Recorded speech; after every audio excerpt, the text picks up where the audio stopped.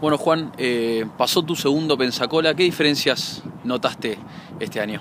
Hoy estuvo un poco más duro, ¿no? Físico mañana y tarde, pero, pero bueno, una experiencia espectacular.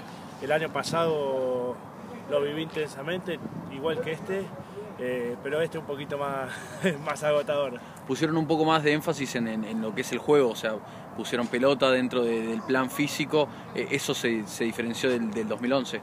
Un poco se diferenció que, hubo pelotas, pero era, por, no, por sobre todo el, el, aspecto físico, en el aspecto de la preparación fue mucho más intensa, mucho más dura y, bueno, también es mucho más duro lo que, lo que se viene. Si te que poner un puntaje hoy, ¿cómo estás vos físicamente? De, de 0, de, de 1 a 10.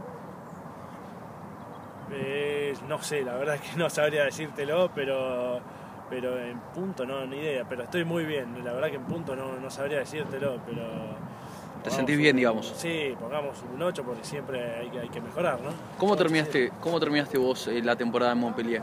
Pues fue un año que tuviste mucho ritmo, tuviste alguna que otra lesión, pero, pero sumaste minutos. Sí, sí, bueno, tuve después del Mundial la operación de la rodilla y que, bueno, por suerte salió, salió todo bien, hice la recuperación y cuando pude volver a las canchas eh, lo hice y jugué bastantes partidos en Montpellier y subí muchos minutos en, cancha, que fue lo bueno para, para terminar el año con, con, ritmo y haber, habiendo jugado bastantes partidos. Así que contento, contento porque, por jugar y por, eh, también estoy muy bien en Montpellier.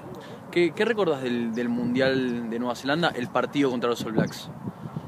Y todo, ¿no? Era la, la, el, la semana, esa semana que pensábamos en Nueva Zelanda, en todo lo que teníamos que hacer, y que teníamos que hacer todas cosas perfectas, teníamos que, era el partido de nuestras vidas y, bueno, también entrar a esa cancha vestida de luto para nosotros, ¿viste? estaba toda de negro, alguna que otra que otro celeste y blanco se veía a lo lejos, pero, pero bueno, totalmente vestida de luto, teníamos todo en contra, pero, pero bueno, el equipo salió a, dejar todo, que, que, eso fue lo, bueno lo que me llevo de, todo el mundial. ¿Imaginás que el Rugby Championship va a ser más duro que, que, mundial?